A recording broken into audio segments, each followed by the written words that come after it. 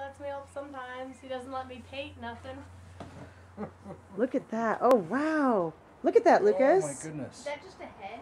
It's a Yeah. buffalo head, be yeah. head and shoulder is what it'll be when it's mounted. There's actually two of them in there. Wow. Those will be big. You're gonna have to have a big place to display one of them, huh? Yeah, one of them's going to Nevada, Customer, Nevada, and the other one's going to uh, San Diego, I think, if I remember right. But I've got to get my strength back because I can't handle it. When I wet that to mount it, I won't be able to handle it. It'll get, get exceptionally heavy. Well, let me ask you then: Is most of your business local, or do you do stuff for people all over? Probably about half of mine goes out. Uh huh. Yeah. But again, most of it's fish. Yeah. But yeah.